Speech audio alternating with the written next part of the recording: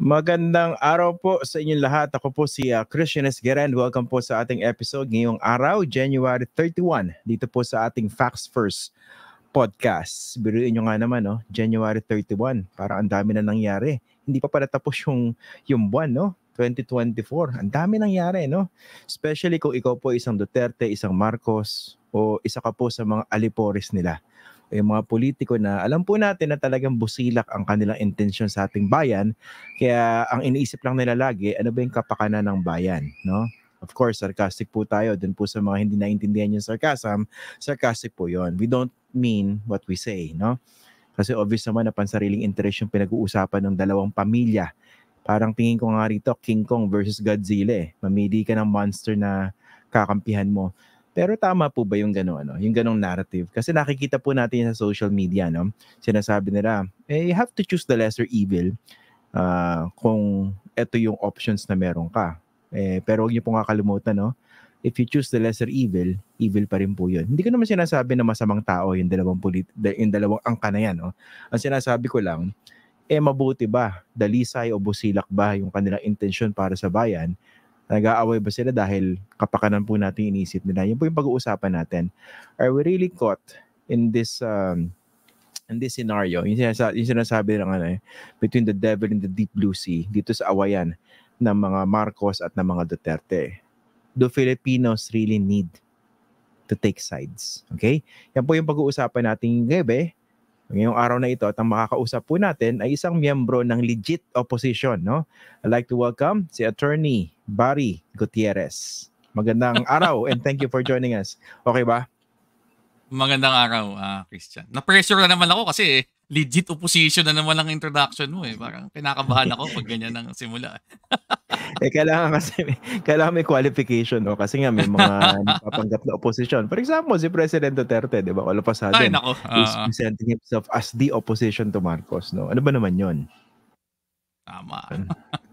Depende siguro, nga ng 1987 Constitution eh, di ba? Ayaw. Oo, at saka yung karapatan ng mga tao na talaga malaman. Ang, yung, parang bigla siya naging ano, no, civic educator.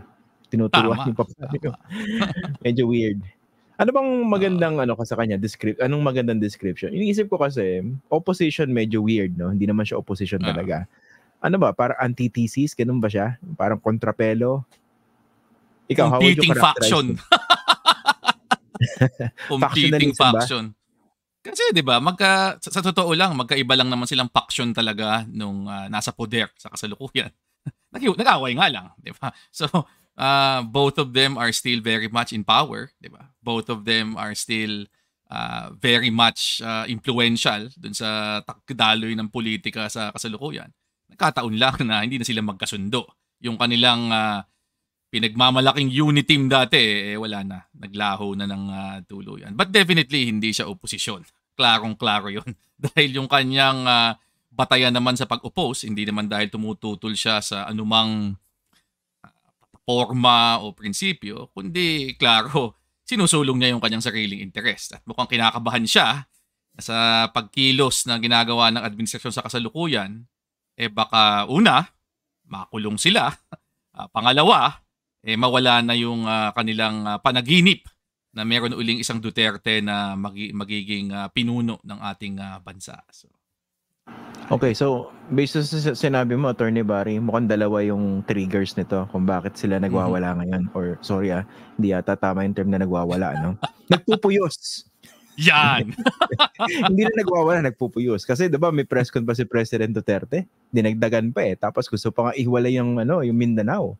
Oo, secession. Bigla, no? Anyway, so tama ba yung intindi ko na sinabi mo? Dalawa yung triggers nito. ICC, yung possibility na makulong sila. And number two, yung ambition ng kanyang anak sa 2028. Tama ba? Well, tingin ko tatlo. Ako, ah, may pangatlo. Pang- Sorry. Pangunahin sa lahat. Specific na kasi yung ICC tsaka yung uh, ambisyon ng kanyang anak eh, na maging pangulo eh. Pero bago pa yan, tingin ko hindi talaga nila matanggap na hindi, hindi na sila ang nasa poder. uh, kung alalahanin mm. natin, simula pa lang ng, uh, ng pagkakahalal ni uh, President Marcos at ni VP Sara, eh, hindi na nila nakuha yung mga ibang mga gusto nila eh. Diba? Si VP Sara, ang gustong cabinet uh, position, defense. Hindi binigay sa kanya. Di ba? So, tingin ko, Yon at iba pang mga bagay na indicator na eh, hindi na kayo ang boss ngayon, di ba? Uh, iba na ang uh, nagko-call ng shots, eh hindi medyo nag-great 'yon kay uh, kay President Duterte. Klaro naman sa klaro naman sa kanyang personality na hindi ito yung tipong taong uh, magpe-fade away quietly, di ba? Sa, sa mula sa poder. In fact, very telling yung sinabi niya nung isang araw na kung uh, gugustuhin ng Diyos, mababalik ako sa pwesto, di ba? At tingin ko, yun ang kanyang fund uh, ambition, di ba? Muling sila yung uh, magharing uri dito sa bansang ito at to begin with, hindi talaga nila matanggap na kahit na nahalal si BP Sara, very much yung kanilang grupo eh second fiddle to uh, to the Marcoses. Specific na yung takot at o yung threat ng uh, magkaroon ng ICC uh, indictment na damay sila lahat. Hindi lang si Pangulong dating Pangulong Duterte 'yan. Sa mga balitang lumalabas, pati si BP Sara baka ma, ma, ma, masama doon yung kanilang mga alyado sa Senado, baka masama doon. So, medyo talagang uh, kinatatakutan nila yung ganong klaseng uh, outcome. And definitely, itong latest na People's Initiative na parang ang dulo papunta sa isang uh, shift to parliamentary, eh tatanggalin mo yung kanilang uh, pinanghahawakang lakas, which is yung medyo mataas pa rin na popularity uh, level ni, ni VP Sara. Na, yung, na siya pa rin ang view as of now na favorite na manalo sa isang presidential election. Pero kung hindi ng presidential election, papunta ng 2028, kundi parliamentary election, pipili na lang yung mga mahahalal sa, sa parliament uh, kung sino ang magiging prime minister, uh, ibang laro yun. Hindi sila sanay doon at baka hindi sila prepared sa ganong klaseng uh, pag, uh, pagbabago ng sistema. And therefore, biglang-bigla, eh talagang all out, 'di ba? Meron ngang parang ano eh, may pagka-desperado yung kanilang mga ginagawa ngayon kung pakikinggan mo. Parang napakabilis nung uh, nung uh, kanilang uh, pag pag pag-intensify ng kanilang sinasabi. At tingin ko, measure 'yon kung gaano sila katakot at gaano sila ka-threatened nitong mga pangyayaring ito. Hmm, so may takot, desperation, tapos mukhang intoxication sa kapangyarihan, no? Matanong lang kita, Attorney Barry, kasi you, you served in a previous administration. Ano ba talaga nakaka-intoxicate sa power? Pero, tsaka bakit kayo, in fairness naman sa inyo, no? Uh, baka sabihin ng mga fans natin ng mga trolls dito, dilawan na naman yung usapan niyo, eh, no? Uh, in fairness naman dito kay Attorney Barry, mukhang sila yung nasa kapangyarihan. Siyempre, hindi naman lahat ng mga nando sa administra- administrasyon na yon gusto ding umalis agad, no? Meron din naman talaga intoxicated sa power. Pero at least kayo and uh, many of your colleagues, nagmamadali namang umalis, di ba? I remember yung si dating Pangulong Noynoy Aquino, meron siyang kalendaryo, di ba? He was literally like, countdown. Days. Tama. And we saw that, no? Nung nawala siya sa pwesto, sobrang tahimik nga eh. Hindi ko alam anong pinagkaabalahan eh ano ba meron diyan sa kapangyarihan pag napunta ka sa Malacanang na para bang ma-intoxicate ka, malalasing ka talaga sa kapangyarihan? Eh, siyempre, kung lalo na kung ikaw yung tipong tao na enjoy mo yung uh, atensyon, enjoy mo yung feeling na ikaw ang boss, di ba? Lahat parang takot sa iyo. Baw, bawat uh, salita mo eh talagang nakakandara pa yung mga tao para para sundin. Kung ganong kaklaseng tao, eh talagang uh, ma- malalasing ka sa kapangyarihan. Ayaw mo nang uh, bitawan.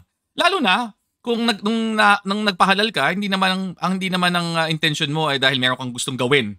meron kang gustong uh, programang i-implement, di ba? O pulisiyang uh, iligay. Kundi talagang gusto mo lang ikaw ang maging uh, presidente for its own sake, di ba? At uh, nakikita ko 'yon dito kay, kay Pangulong Duterte, di ba? Nung naupo siya, may mga sinasabi siyang gusto niyang ipatupad, federalism, sabi niya, di ba? Pero wala namang nangyari sa lahat 'yun eh. di ba?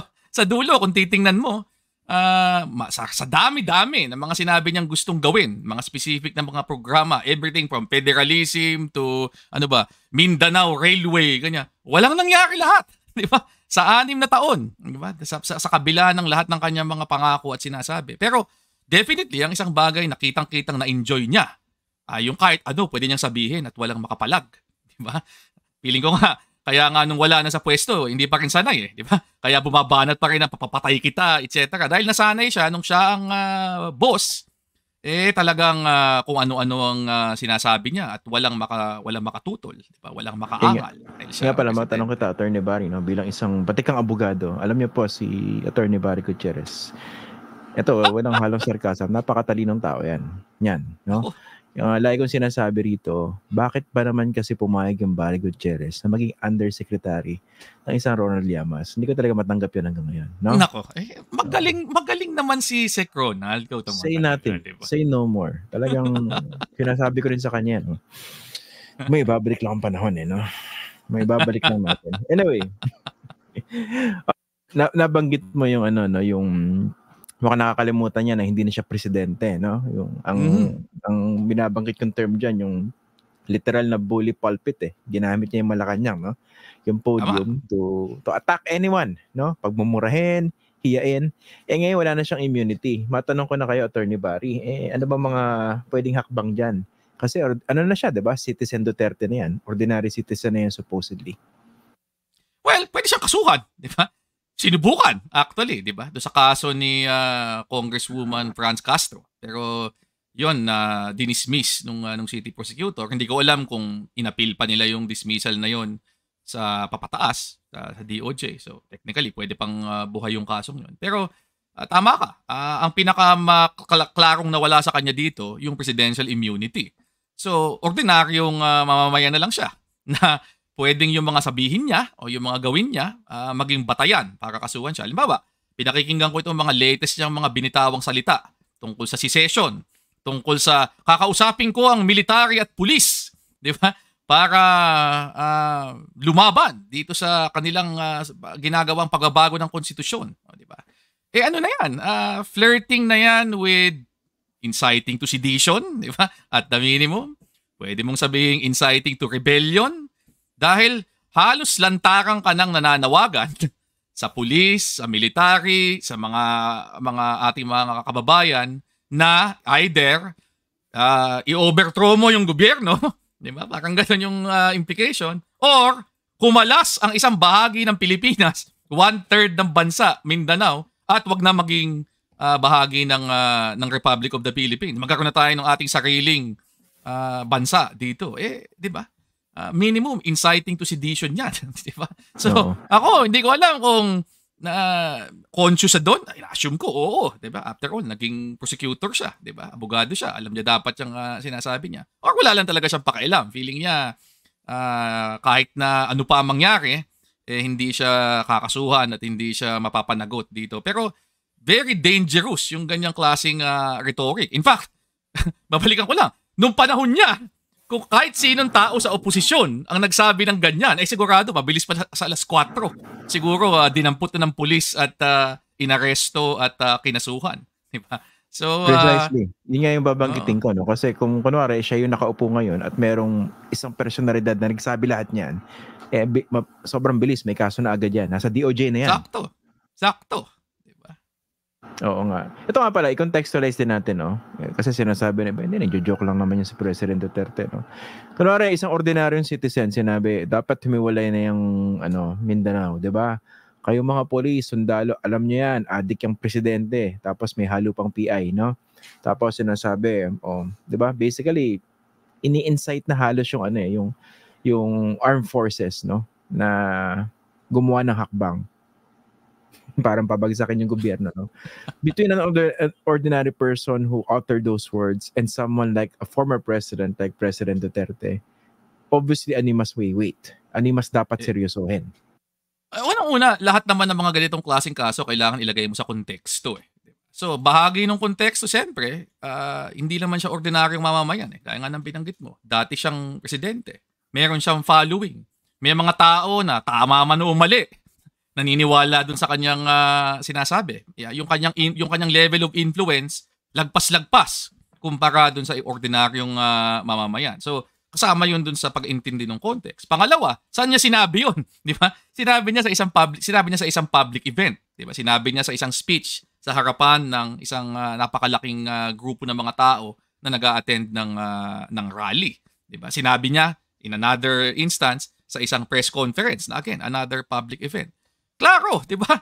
Kaya pag ganun yung konteksto at kung ganun yung tao yung ganun yung influence na wini-wield ng tao nagsasalita, eh talaga kailangan na bigyan mo ng uh, seryosong pagtingin 'yon. Ako tingin ko hindi lang basta joke ang, ang ano doon. Uh, hindi mo pwedeng ma-dismiss 'yon as a joke kasi karamihan ng mga tao makakarinig doon maniniwala na talagang 'yun ang kanyang uh, panawagan given yung kanyang uh, history, given yung kanyang uh, pagkatao, given yung context kung saan niya sinabi yun. Iba yun kung ba, nag-uusap lang tayong dalawa. Tapos sabi mo, oh, sawa na ako dito sa ano eh, kaguluhan sa bansang ito. Tapos sinabi ko, eh di ano, magsisigda lang ang Metro Manila para hindi lang tayo kasama. Linawin natin, baka mas splice tong part na to. Joke lang yan, ha? Ano yan? Joke lang. Yun, tayong dalawa lang. Eh, siguro siya, hindi ano yun. Pero kung public, di ba, nagsi-speech ako, sinabi ko yun, eh, iba, usa, ibang usapan yun, di ba? Yun yung, uh, okay. Yun yung kaso dito.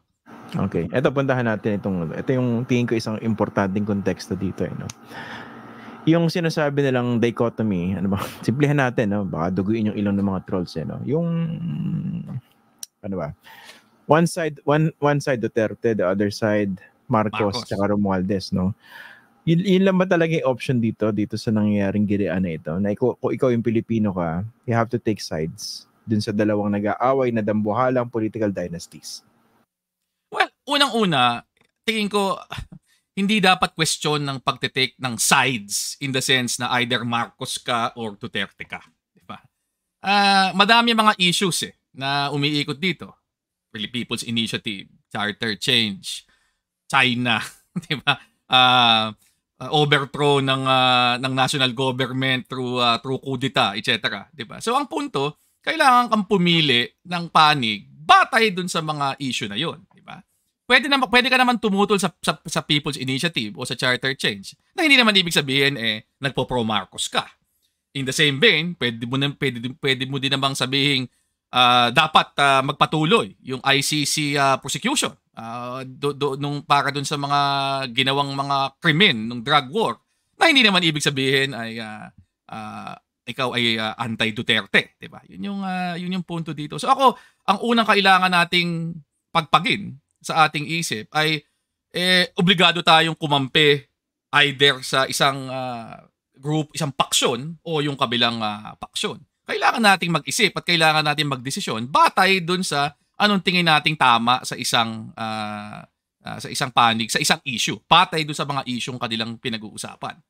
Yun yung yun yung yun, yun yung dapat nating simulang uh, tingnan. Hmm. Actually, ang nahihirapan lang naman sa ganyang choice ay yung mga bayarang trolls at yung mga bayarang yung mga mercenaryong vloggers at yung at saka yung mga mercenaryong analysts, no? Kailangan nilang pumili kasi nga eh sino ba yung better benefactor sa dalawa? Saan ba sila mas kikita ng salapi? Uh, hindi natin alam kung saan ang gagaling. Yun lang naman ang naisip ko dyan. Tsaka ito nga pala, no, yung PI, no? yung People's Initiative, uh, alam mo namang mali, no? Uh, yung ginagawa na yan, hindi porki kinundi, kinundin na mo yun, ibig sabihin kampi ka naman kay Duterte. Di ba? Tama. Tama ba? Tama. Tama. Mm-hmm. Eh dito, uh, for instance, kunwari, yung, yung, yung issue naman ng pag-destabilize kay President Marcos, I mean, how should people look at that? Well, depende kasi kung anong ako personally ang pinaka nababother ako sa buong pangyayaring ito. Doon sa mga bagay na parang uh, tumatawid na nung linya kung ano yung legitimate na you know political discourse, 'di ba? Na pwede nating exercise through freedom of speech. At yung talagang nandoon na sa boundary ng nananawagan ka na ng ano ng kudita, 'di ba? o nananawagan ka na ng illegal na kasi ako uh, yung yung political na ingay to a certain extent ordinaryo na yan eh 'di ba sa sa atin eh pero pero kinakabahan ako kapag ang uh, political na ingay napupunta na doon sa ay meron ng panawagan na kailangan na kumilos ang military o kumilos ang uh, kumilos ang pulis 'di ba kasi ang nakakatakot kasi doon pag pag ganun ang naging direksyon eh nawawala lahat ng ano eh, nawawala lahat ng mga safeguards eh. Eh isa sa mga, 'di ba, hindi perfect ang ating demokrasya. Pero at the but at the minimum, may expect ko na may eleksyon every three years. May hmm. expect ko na mayroong mga proteksyon kahit paano sa korte.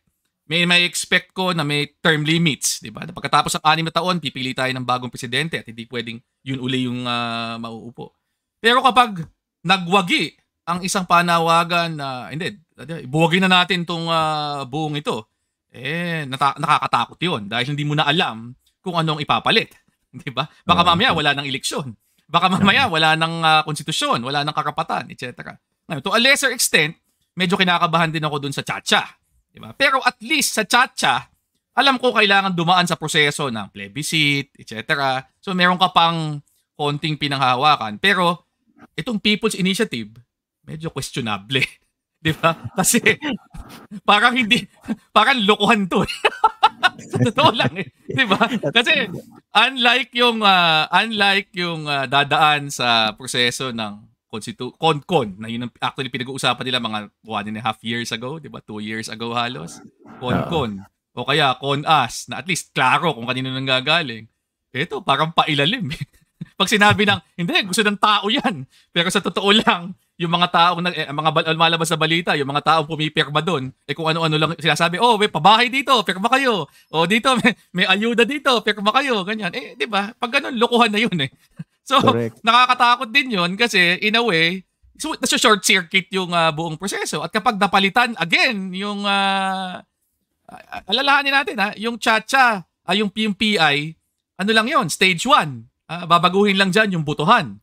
Kapag na-empower na ang Kongreso at, at, at, at nabago yung system ng butuhan na hindi na hiwalay boboto ang Senate at ang House of Representatives, eh yung House kahit na, ano na, pwede nang ipasok sa stage 2. Di ba? Yan ang nakakatakot kasi hindi mo rin alam. Tatanggalin ba ang term limits? Di ba? Wow, i-delay ba yung eleksyon, etc. At uh, yun yung nakakatakot. Pero kung talagang ilalagay isasandal i, ano isasandal mo ako sa pader, 'di ba? Talaga at, at isasabihin mo sa akin ay ano ba talaga ang ano? Ako mas mas mas kaya kung mas nai-imagine ko kung paano labanan yung uh, ganung klaseng inisyatiba kaysa dun sa paano kang tututol kung ang uh, kung ang tinutulak ng kabila ay eh, talagang outright na nakudita illegal na talaga eh, wala ka na magagawa doon sabi sabihin talagang choice between um, the devil in the deep blue, deep blue sea no? Kudita o revolution o yung isa naman oh, pailalim na siya.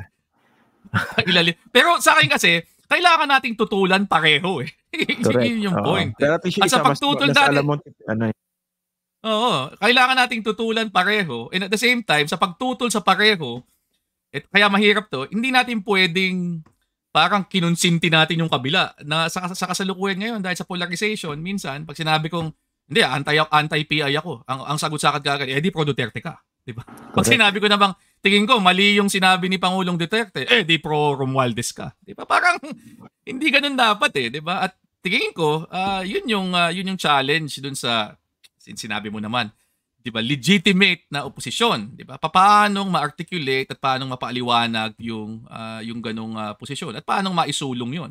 Paano maisusulong yung opposition to PI for for example, na hindi ka ma, ma, ma, malalagay do sa hanay nung uh, nung mga nananawagan ng kodita, 'di ba? o paano kang uh, paano mong isusulong yung issues like ICC na hindi ka naman malalagay dun sa mga pro uh, pro PI, 'di ba? Yun yung uh, Oo, yun yung ay. punto. Napaka-simplistic kasi ng characterization talaga sa discourse sa Pilipinas, no? Or sa ibang bansa rin naman. Para hindi ko alam kung sinasadya yan o talagang or sadyang binobobo yung mga tao, no? Pero although ganyan talaga yan, eh, no? Anyway, yung example sa binigay mo, very serious siya, no? Ibig sabihin, yung kanina binabanggit mo na political noise, ano yan, pwede nang palampasin or at least hindi hindi naman kailangan magkasuhan. For example, yung sabi yung sinabihan ni Duterte si Bongbong Marcos na adik. Wala nang wala nang ano no? Wala nang ah. ano to yung pagtatago eh no? Adik ka, adik, adik, adik. Para pa ulit-ulit eh no? Para imagine ko nag-aaway na dalawang bata sa, sa school year eh no? Adik ka, adik ka. Ikaw naman, ikaw nga naka-fentanyl eh. Yung ganyan, oh, yeah. kaya mo uh, pang tanggapin yan. Hindi kailangan magkasuhan diyan. Oo, oh, eh. 'di ba? Ingay lang yan eh. Salita lang yan eh, di ba? Sa, sa, sa dulo, ang sinisira lang nila isa't isa eh, di ba? Ang natutuwa lang naman siguro doon yung mga supporter nila na oh, nakascore ang ano namin, manok namin, di ba? Parang ganoon 'yon eh. Pero 'di ba sa sa mas malawak na usapan kung makakaapekto ba to sa sa atin, sa kapakanan natin, sa tayo pupunta bilang bansa, ayaw mo na 'yan, 'di ba? Wala namang wala namang ibig sabihin 'yan, eh, 'di ba? Nag-aasaran lang sila eh. Nakakatawa ka, sumasagot pa eh, no? Uh, for example, sa, Actually, diba? si Duterte, eh. nagpaliwanag pa eh, no? Prescription drug daw, binigay yung pangalan uh, ng doktor niya. At tumigil na uh, daw siya ng pag, uh, pag, ano, pag-inom, di ba? Dati pa. Uh, tapos yung, meron siyang dalawang alipores na abogado, di ba? Sumagot pa. No. Galing eh, no? Ang lalim talaga ng diskurso, diskurso sa atin. Pero, eh, no? pero feeling ko sa yun eh. Kasi, di ba, habang naiiwan yung, nagpo-focus yung usapan sa mga ganong kababawan, di ba, yung mga asaran, hindi na di-discuss yung mas malalim na implikasyon ng kanilang mga tinutulak. Di ba? Kasi ako, yeah. bawa, sa, sa kaso halimbawa, nung, kung, kung ma- mauwi yung usapan sa fentanyl versus cocaine, di ba? Uh, eh, hindi napapag-usapan yung mas malalim na mga implikasyon ng mga tinutulak nilang PI o 'di ba, kudita, 'di ba? Doon sa ano o paghiwalay ng Mindanao. 'Di ba? Yun yung mga oh, yun ang mga dapat yun ang dapat uh, idikdik sa kanila eh. Ah, nananawagan ba talaga kayo? Ano sabihin dito? 'Di ba? Ano nangyayari dito pag uh, pag nasunod yung gusto niyo yan? Pero habang oh. naka, naiiwan yung usapan, umiikot lang dun sa, yun nga, gaya na sinabi, sinabi mo, parang dalawang batang nag-aasaran. 'di ba? Nag nag uh, nagpipikunan, eh di naiiwan doon, hindi napapag-usapan at naiiwan lahat tayo na uh, ang choice lang ay pumili tayo kung sino yung manok natin dito. Parang pumili ka ng basketball team, 'di ba? Mas gusto ko to kasi, 'di ba? Tsaka isang context diyan, syempre. Sino ba yung ano, sino ba yung elected official, yung anong gobyerno ngayon? Hindi mo man gusto yung resulta, kung wala namang ginawang ano yan, sobrang illegal, no? Kunwari, pinagpapatay yung tao, no? Ibig sabihin, you have to protect uh, the mandate itself, no? Even if you don't like yeah. the person, di ba? Parang Totoo naman yun. susuportahan yung, nagku- yung gusto magkudita. Lalo yun, di ba? May binanggit pa si President Duterte na ano eh. Di ba yung warning niya? Baka matanggal ka rin tulad na nangyari sa tatay mo. Yung, yung mga ganun, no? Pero, tawa-tawa ako ha, sa kabila ng lahat ng mga sinabi ni dating Pangulong Duterte na yan, yung kanyang anak na Vice President, eh nandiyan pa rin sa cabinet nga eh. Ba- bakit diba? nga ba? ano nga ba? Parang nananawagan na yung tatay mo nang basically, ano eh, uh, kumiwalay ang Mindanao, di ba? Kumilos ang military para tanggalin itong presidente natin ngayon. Pero, ikaw, nandiyan ka pa rin, di ba? Parang walang nangyayari. Ewan ko. Uh, hirap na siguro kasi talaga.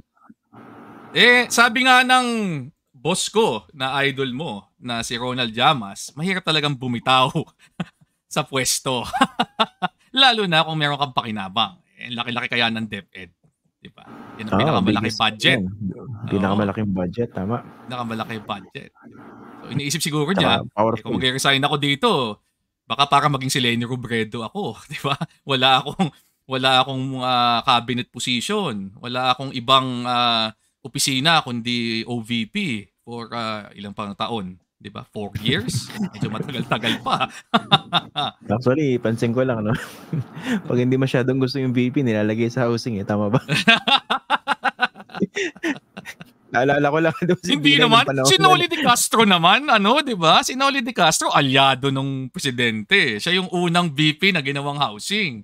Diba? Ganun ba? Eh, ba't si... so, ibig sabihin, yung pagkakalagay kay Binay sa housing, ano yun? Uh, experiment? Uh, a place of brotherly love ba yun? In fairness kay BP Binay, madami siyang ano ah, madami siyang uh, na-project na uh, accomplishments nung siya ang housing uh, secretary. In fact, kumbaga, maaaring hindi 'yun ang first choice niya, pero ako tingin ko nagamit niya ng ano 'yun, ng, uh, ng mabuti-buti. Di ba? Uh, pero of course, iba yung uh, iba yung dumali sa kanya, hindi yung kanyang performance sa housing. Ito nga pala, no? So, obviously, weird naman yan. No? Sa dami ng mga sinabi ng kanyang tatay, ng dalawang kapatid niya, pinagre-resign yung si President Marcos, yung head ng official family, family kung saan miyembro yung Vice President bilang uh, cabinet member, at syempre, running mate pa niya ng eleksyon, eh, mukhang hindi aalis. Eh, hindi naman porke ayaw umalis ng isang tao sa gabinete, hindi pwedeng hindi siya, hindi naman na hindi, sorry ah, just because this person doesn't want to resign doesn't mean the president can't fire her.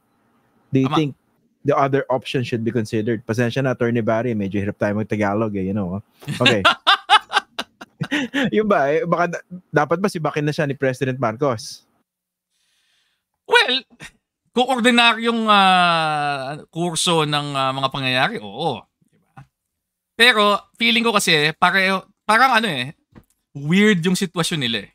Kasi pareho silang nahalal at pareho silang nanalo on the promise, di ba? Doon sa pangako at doon sa kanilang pagpustura na uniteam, di ba?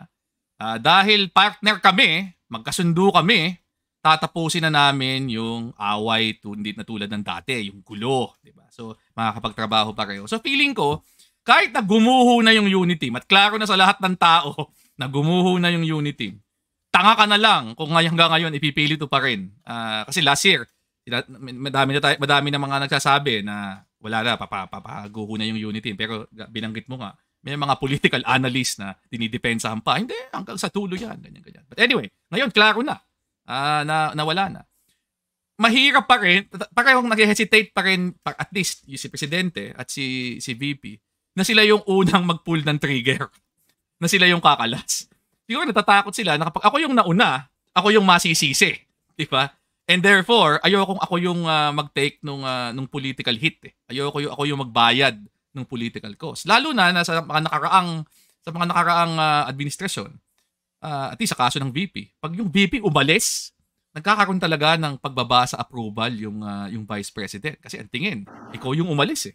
Diba? Ah, talaga? Yung, yung yun? Uh, meron. Uh, lahat. Uh, kas, maski si Gloria Bacapagal Arroyo, nung umalis siya, habang si Erap ay, uh, oh, umalis siya. Eh, umalis siya noon, ano na, impeachment. Gitna na ng impeachment. Bumaba ang kanyang rating. Di ba? Nung si BP ah, Binay, umalis kay, uh, kay Pinoy, bumaba. Di ba? Nung si BP Lenny, of course, umalis, bumaba. Kasi nga, so ako tingin ko, ang, yun ang tinitingnan nila, na kung sino yung masisisi o na makikita na siya yung humiwalay, siya ang naging dahilan sa pagbasag ng uh, ng partnership eh siya ang uh, siya ang aani nung uh, nung inis o nung disappointment ng uh, ng taong bayan. Kaya yan, nandiyan tayo sa ganyan sitwasyon. Pareho silang parang although sa case ni uh, ni BP Sara, feeling ko eh meron pa mer- meron ding mas specific na dahilan. Ayaw talaga niyang bumitaw. Kasi ayaw niyang mm. mawalan ng uh, ng pwesto. Pero ako feeling ko, pag nagtagal pa ng konti ito at uh, lumala pa lalo, uh, makakahanap ng dahilan yan para uh, tanggalin na rin si uh, si BP Sara sa sa education. In fact, last year ko pa sinasabi yan eh na ini-expect ko na papasok ng uh, ng 2024 isa 'yon sa mga mangyayari sa cabinet, 'di ba? Na siya ay uh, aalis na sa sa mm. DepEd. Sa tingin ko, kung kung hanapan mo na ng basis, medyo medyo madami-daming basis, 'di ba? Hindi ganun kaganda ang performance ng uh, ng ating uh, education sector sa kasalukuyan, unfortunately. Hindi ba? Akala ko siya yung pinakamagaling dyan. Uh, ah, ganun ba? Akala, baka lang. Baka nananaginip ako. Anyway, dalawang punto lang yan eh. No? Unang-una, hanggang kailan sila pwedeng magplastikan? Yung dalawa. Si Bongbong at si Sara. Number two, di ba yung panawagan ni Duterte na mag-step down si Marcos? Di ba yung, yung anak, di ba? Sabi, mag-resign na. Hindi ba self-serving yon pa nag-resign si Bongbong Marcos, hindi papalit yung kapatid. Medyo. Definitely. Di yata napansin ng mga tao yun eh. Definitely. Uh, una, una uh, gaano katagal? Ako tingin ko hindi nila kayang i-sustain ng matagal. Lalo na na walang walang signs, walang senyales na uh, magde-escalate o 'di ba? Kumbaga ihinay yung mga bana sa isa't isa. Kasi if anything, tingin ko lalala pa yan eh. Yung mga yung mga banata na yan, 'di ba? Parang papaakyat pa lang yung uh, yung init nitong uh, nitong alitan na ito. So tingin ko habang uh, umiinit lalo 'yan, yung pressure na direkta na talaga silang uh, mag uh, magsagutan at uh, sila na mismo yung magharapan dito eh 'di ba? Titingkad ng titingkad at mangyayari 'yon uh, sooner rather than uh, than later. Yung sa isa, oh, in fact, ang klaro nga nun eh. Sasabihin mo mag-resign tapos kapatid mo papalit, eh, di ba? Parang halos sinabi na rin niya na hindi Marcos resign eh. Dapat dapat si Sara na lang presidente, di ba? parang ganoon na lang dapat ang sinabi niya. Para, para, kasi yun din, yun din ang ibig sabihin nun eh. Di ba?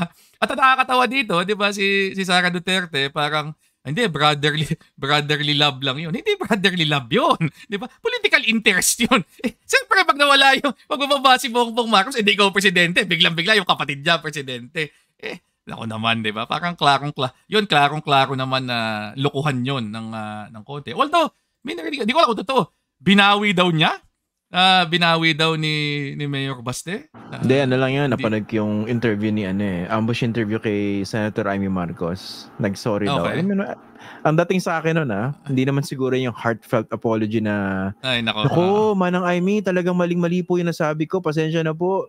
I don't think na ganun yung nangyari, no? Uy, sorry ah. Di ba pwede naman ganun? I, I don't know. Syempre, sorry na, ano ako eh. sorry, ano lang. Yun ba yun? Eh, syempre, yung, ito, ito rin yung ano ko eh, napansin ko sa media eh, napaka-simplistic na reporting eh.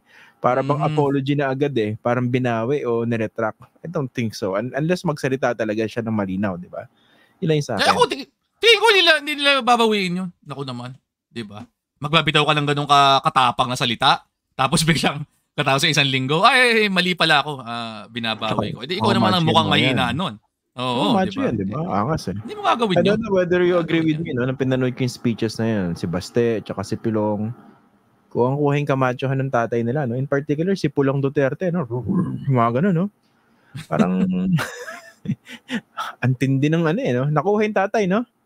Oo, oh, kuha. Tingin ko, tingin ko. Kuha. Mm-hmm. Wala lang yung, uh, kahit paano kasi si, ito ah, talagang mas, masakit sa loob, kalooban kung uh, admitin to. Ah. Pero kahit paano kasi si Pangulong Duterte, meron siyang matutuwa ka pa rin sa kanya. Eh. At least simula, ah. 'di ba? Meron siyang style na kahit na brusco, kahit na siga-siga, nakakaaliw, 'di ba? Matutuwa ka. Eh. Mga kaibigan, may closet Duterte sa Oo na, na, na, naamin ko naman na merong appeal. Eh. Merong appeal. Dito Lenny, nagkamali yata kayo ng paulit-ulit na, definitely ngayon, wala na. Pero hindi ko yung nakikita doon sa mga doon sa mga kanyang mga ibang mga uh, mga alalay at mga alyado. Uh, diba? Kahit na ginagaya nila yung kanyang style, hindi nakukuha yung kanyang uh, appeal. Sa tingin ko, ah, ako. I get it, oh, kasi pag si Duterte nagsasalita, parang matatawa ka, no? Parang... Matatawa ka pa rin, eh, di ba? Bawat angkan meron ganyan, eh. Parang tito, lolo, tatay, na managkwento, parang sama no sinabi, pero natawa Kahit ka. Kahit alam mong maling-mali yung sinabi, hindi, hindi mo bibigilan, matatawa ka, matatawa ka eh, sa delivery, o sa ano, di ba? Pero, no, mahirap kopyahin yan, no? Mahirap kopyahin. Oh. Yung mga spokesman ba niya, nakakatawa, nakuha ba yung humor niya? Hindi. hindi, hindi. hindi ka malayo, nakatawa. malayong malayo. ah, okay. oh, sige, sige. Ito pala, ito, um, malapit na tayo matapos, no? Nakikita ko rin narrative ng iba, no? Kunwari, kayo mga nasa legit opposition, wag daw kayong sumama sa usapan kasi usapan lang to ng mga nanalo. Bawal dito yung mga talunan. I mean, yung, yung, ganong, yung ganong framing, what do you think of that? Hindi ba, yung, yung away na yan, yung King Kong versus Godzilla, between winners lang daw yan. Well, ako agree ako na hindi ako wala, wala akong intensyon na yung oposisyon o ako personally sasama doon sa sa away ng Duterte Marcos. Eh sila naman talaga 'yon eh, 'di ba? Pero Pilipino ako at 'di ba, interesado ako sa mangyayari sa amin sa ating bansa, 'di ba? So, yung mga yung, kung yung away nila eh nakakaapekto na at kung saan pupunta yung yung ating bansa, 'di ba? Kung ano mangyayari sa ating gobyerno. Eh siyempre may pakialam ako doon at may pakialam dapat bawat Pilipino doon. Hindi lang uh, oposisyon. Ako tama yung sinabi ni Senator Risa nung uh, isang araw eh, 'di ba? Na kailangan nating paalala sa mga tao na hindi lang dalawa yung options, 'di ba? At sa dulo, ang pinaka kailangan manaig dito yung interest natin bilang mga Pilipino, yung interest natin bilang uh, bilang isang bayan, 'di ba? So ako, yung ganong narrative precisely, yung sinusulong nila at mali yun eh. na parang pine-frame lang na away lang to ng Marcos Duterte. Pumili, ang choice lang nyo, pumili kayo kung sinong kakampihan nyo. Ako hindi hindi ganoon, di ba? Away nila 'yan at wala walang problema 'yan kung 'di ba nasa eskwelahan lang sila, nagsasapakan sila doon, napapakialam ko kung magbugbugan sila doon. Pero kung yung bugbugan nila ay gumagamit sila ng government resources, kung yung bugbugan nila maiuwi sa pagbuwag ng ating demokrasya, kung yung yung bugbugan nila maiuwi sa magkakaroon ng kudita o guguho yung ating ekonomiya, eh dapat lahat tayo makialam diyan, diba? At dapat lahat tayo merong uh, masabi. Hindi ibig sabihin napapanig tayo sa isa laban sa kabila, pero kailangan nating uh, uh, gumuhit, 'di ba? At uh, maging bahagi nung ganitong klaseng uh, nangyayari sa kasalukuyan. Correct, no? Ayun nga, eh. dagdag ko lang, bago tayo magtapos. No? Speaking of resources, kunwari, kung magsusulong ka ng chacha, di ba? Kung Meron mang lumalabas ng mga leakage, yung leaks pagdating sa resources. eh, pera po nating lahat yan eh, no? Yung exactly. pwedeng maaksayan ng ating mga kagalang-galang ng mga mambabatas. Lang, simple lang eh, di ba? Yung mga committee hearings na yan, di ba? O yung mga public uh, consultations na yan. For for instance eh, saan, saan ba kinukuha yung pera niyan 'di ba? 'di ba sa atin din, din naman lahat yan eh. I mean napakasimple lang yan pero at least yun yung direct effect direct, direct na epekta. Pera natin yung ginagamit nila. Pero ginagamit ba nila yun para isulong interest natin? Yun ang problema eh. 'di ba? Tama. So, eh kumusta BP mo? Hindi ka naman ano BP ah blood pressure. BP oo. Kaano ko lang eh kasi check up at uh, okay. Uh, kahit na kahit na iniisip ko na umiinit ang ulo ko dahil sa mga nangyayari, apparently hindi reflected sa BP. Oh, alam mo Attorney Barry, matagal na rin na matagal na rin naman kitang kino-cover eh. Never kitang nakita pa nagalit. na, bakit bakit ganoon? Ne- never pa talaga yung sumimangot. Kasi parang, parang saya-saya mo. Eh, 'di ba? Naniniwala kasi ako sa kasabihan na pikon talo eh, 'di ba? So, hindi ka dapat napipikon. Okay. Okay, okay. Diba? Uh, one of these days, no? Uh, yan ang target ko. Kasi ang mga goals ko Bibigo, ganito. Bibigutin mo ako. uh, ang goals ko kasi mapag mapagtagalog si ano si si Justice Carpio. Nagagawa ko na 'yon. Ah, Tatagalog ayos. na. Okay, okay. Uh, yan naman, Barry Gutierrez, kailangan ma- makitaan man lang natin ng simangot. Okay na ako ron. Ayan. yan. Okay, o sige. Okay. pala, happy birthday sa'yo. Feb Happy 2. birthday din sa'yo! Yeah. Oh, para tayong Spider-Man meme, no? Nag nagtuturuan ng gano'n. Oo, oh, di ba? Yung ganyan. Uh, Happy birthday, ha? Oh. Happy birthday din. Kailan ba natin nalaman na magka-birthday tayo? Mean, kailan ba yun? Parang uh, siguro eh. Five years ago? Four years ago? Mga ganon. Nasa, nasa ANC pa tayo. Oo, oh, tama, tama. Nagka, tama. ano, nagka, basta, I don't know what happened. Basta nagkatuntunan. Anyway, tama. happy birthday, Attorney Pari, ha? Maraming salamat. Happy birthday. Here's Chad. Okay. Ah, sige. Thank you, thank you. Okay. Yan, si uh, Attorney Barry Gutierrez po ang ating uh, nakasama dito po sa ating episode ngayong araw. Yan po yung pinag-usapan natin yung nangyayari dito sa pagitan ng mga Marcos at saka ng mga Duterte. Okay, bago po tayo magtapos, so konting reminders lang. Meron po tayong Faxnatics Unite. Uh, yung, di ba, every week, tinatanong po namin kayo ng inyong mga sentimiento o komento sa isang issue para sa week na ito, ang tanong po natin, dapat pa bang manatili sa gabinete ni President Bongbong Marcos si VP Sara Duterte? So ipadala niyo po yung inyong mga video comments up to one minute, uh, vertical or horizontal. Ipadala niyo po sa aking Facebook uh, page. Gamitin niyo po yung fa- Facebook Messenger. Padala niyo po rin yung video. Tapos pagsasama-samahin po natin yan at ipapalabas po natin sa Friday. Okay? Number two, binabati po natin ang ating uh, mga supporters. Kanina nakausap ko po yung isa sa kanila. Mga kaibigan po sila ni uh, ah, Dr. Vivian Sarabia. Yan, isa po napakabait na doktor, si uh, Doc uh, Vivian Sarabia. Uh, bumibisita po from San Diego, California, yung kanyang mga kaibigan, sina Miss Sita Mercado at si Mr. Dan Mercado from San Diego, California. Kaya nakausap ko si Mr. Dan. So, maraming maraming salamat po sa suporta ninyo. Okay? So yun na po muna and then kita-kita po tayo sa susunod na episode nitong ating Facts First podcast. Ako po si Christian Esguera. Maraming maraming salamat po sa inyong lahat. Thank you.